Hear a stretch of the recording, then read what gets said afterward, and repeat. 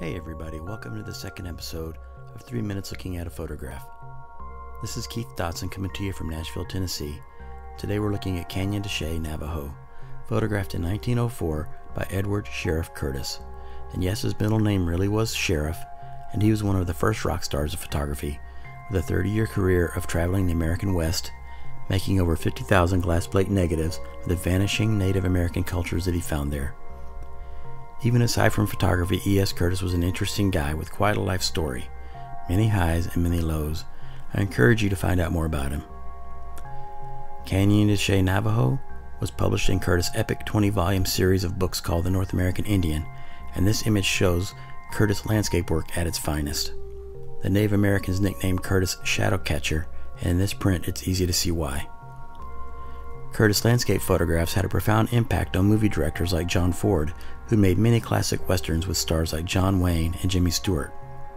But as a documentarian, Curtis' legacy is a little dicey. He was known to alter his scenes and pose his subjects in romanticized ways that were not always really authentic.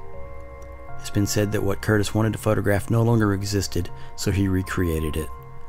Still, his photographic record of Native Americans is unrivaled. Here we see across an expansive flat basin seven Navajo riders on horseback with a faithful dog slowly trekking through the floor of the sacred Canyon de Chelly in Arizona. The riders are dwarfed by the magnificent cliffs of the canyon walls behind them. We can tell by their shadows that it's slightly before or perhaps slightly after midday.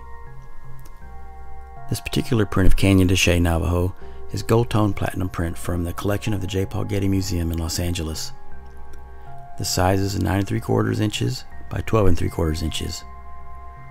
Looking closely at the surface of the paper, you can clearly see the texture because unlike silver gelatin prints, platinum prints require no gelatin emulsion coating. That gives the print a really luxurious matte surface and shadows which are less black and dense than the shadows found in silver gelatin prints. The choice of platinum indicates that Curtis viewed this work as artistically important, and it's well known that he was fond of gold toning. At the bottom left, we see a blind emboss of Curtis copyright notice. At bottom right, Curtis' signature. Canyon Chelly Navajo remains one of Curtis' most popular photographs. More than 111 years after its creation, it still attracts tourists who want to go and view the location exactly as photographed by Curtis.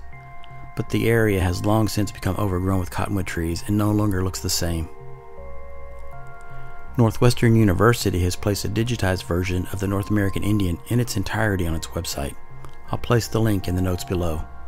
Thanks for watching. Be sure to like and share and subscribe for more episodes yet to come. Thank you.